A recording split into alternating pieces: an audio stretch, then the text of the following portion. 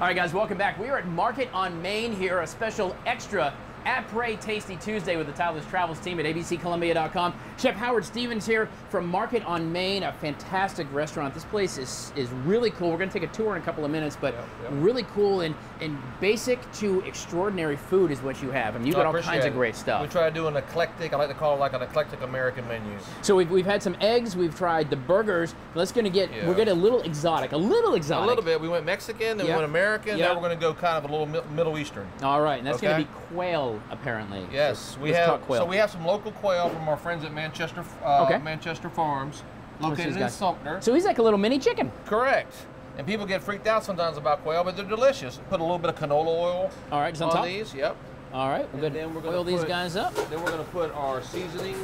So All a little right. bit of sprinkle of that. We want to be sure you cover every part of it. So sometimes, yeah, there you go. Put your hands on it. Beautiful. Mom always said don't play with your food. She was wrong all these years. This is za'atar. Okay, This is a Middle Eastern uh, spice mix. here, take a smell of this real Yeah, quick. It's um, it There has go. Take uh, a sniff. Go ahead. Yeah, It has- smell-o-vision. It has coriander, it has cumin, it has thyme, oregano, marjoram, oh. and Oh. it also has sumac, which is a great Middle Eastern citrusy, peppery kind of a herb. Pretty much, Uh, guys. Spice, go to your spice rack in your kitchen Yeah. and just smell the whole thing at once, and this is what you got. It's very flavorful, very love it. aromatic. So we put them right on the on the grill here. All right, and again, where do you want your grill setting? Is this thing gonna be on high, I, I like- medium? we- I never I never put our grill on um, like all the way up. We usually try to go for a medium high. there you go. Did I do that right? there we Yeah, go. Spread out a little bit. And what we're gonna do is that that grill. Okay. It's gonna take about two minutes per side. Okay. Okay. So what we do is we have we have a green couscous we made. Okay. So we put chili in here, pistachio. Uh, we put cilantro, parsley. Oh, wow. Um, that's what gives it this green. That's what gives it this green look. So this Okay. is Moroccan couscous with all those herbs and spices in there, pistachio. All right. And what we so for the for the this is on our dinner menu. So what we do is it's already been cooked, and all we have to do really is Just kinda heat it add, up, add right, it to the point? pan like this, and then add a little veg stock.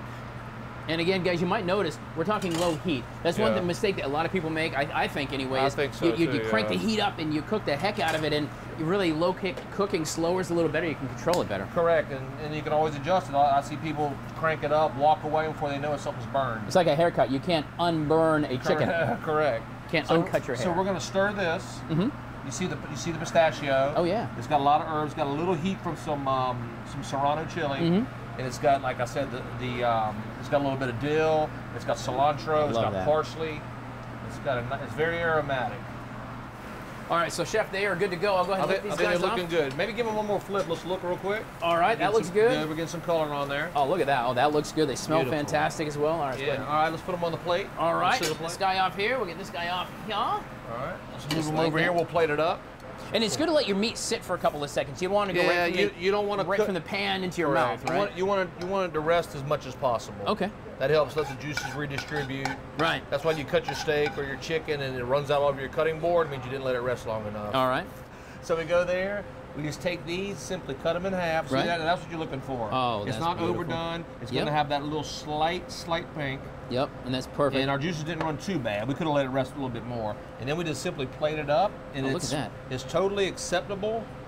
I have no problem with that. Nobody will judge you. A little bit of extra virgin olive oil, and then I always like to throw a little bit more of that that za'atar spice around. Very aromatic, and uh, it's like a Middle Eastern barbecue rub. wow. And green couscous. And that's right here, guys. The uh, market on Main, right on Main Street in downtown Columbia here. A Tasty Tuesday Extra. Chef Howard and the team. What an awesome, awesome dish. Guys, put all the links right here. Come down and try. You can try this at home, but it's easier if you let this guy do it. He does it very well.